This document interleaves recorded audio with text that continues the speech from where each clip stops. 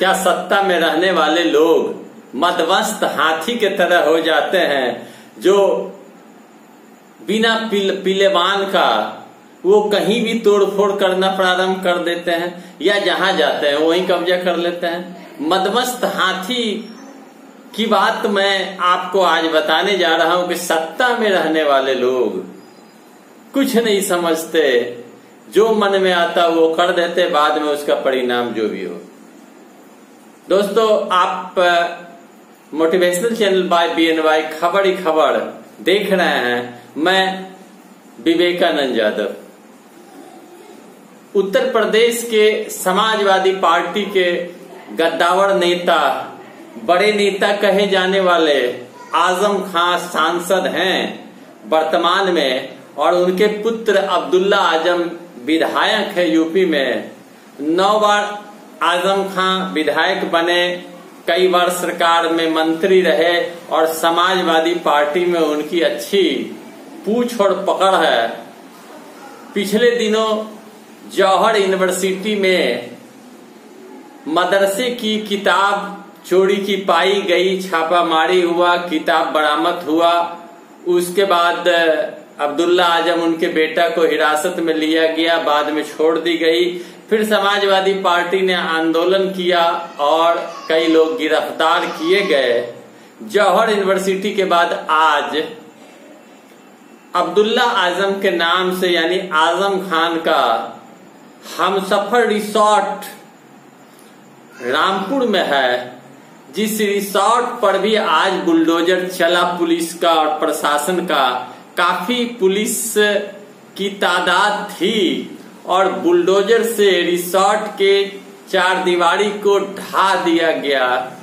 इसलिए कि कहा जाता है प्रशासन के द्वारा, जिला पदाधिकारी के द्वारा, कि रिसोर्ट और सड़क के बीच नाला की ज़मीन है जिसमें नाला बनी हुई थी और नाला को अतिक्रमण कर अवैध रूप से आज़म खान ने कब्जा कर रिसोर्ट का दीवार दे दिया, जो स्पष्ट रूप से दीवार टूटने के बाद बड़ा सा नाला दिखाई पड़ता है, जो आप देखेंगे।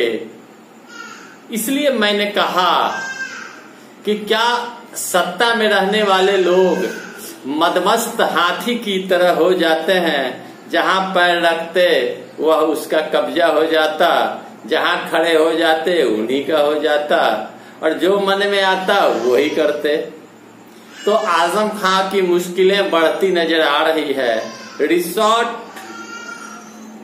की जो दीवाल थी, उसके अंदर नाला को अतिक्रमण करके अंदर कर लिया गया था, जो बड़ा सा नाला है। ऐसा कहा जाता है, हज़ार स्क्वायर फीट की नाला को अवैध कब्जा आज़म खान ने किया।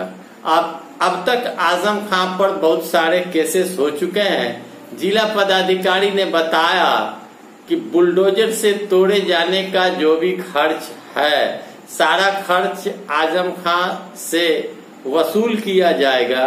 क्षतिपूर्ति वसूल करी जाएगी, खर्च वसूल करी जाएगी। कई बार उन्हें नोटिस दी गई थी कि आप खाली कर दें, लेकिन उन्होंने संतुष्टिजनक जवाब नहीं दिया।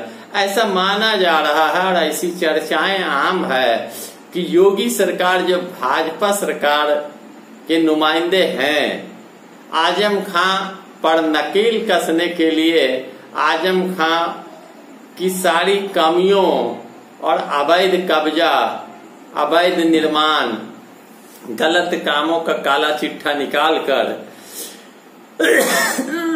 उन पर नकेल कसने की तैयारी कर चुके हैं।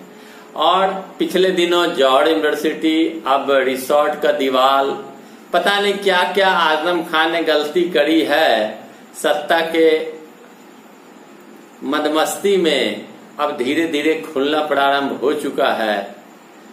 अब ये राजनीति की कहानी हो चुकी है कि जब आप सत्ता में रहो तो आपकी गलती निकाल कर आप पर हमला करूँ। मैं जब सत्ता में रहूँ तो फिर मेरे मैं दूसरों पर हमला करूँ। यह परंपरा चल सी गई है, चौदह से लेके अब तक चल रही है। एक दूसरे को पछाड़ने की परंपरा, जो जहाँ गलती करे, मौका मिले उससे पटकनी दो, आगे बढ़ो। तो अब समाजवादी पार्टी की सरकार रही नहीं।